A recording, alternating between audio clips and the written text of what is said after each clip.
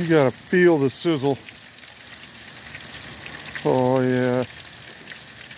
That's a mighty fine eating right there, everybody.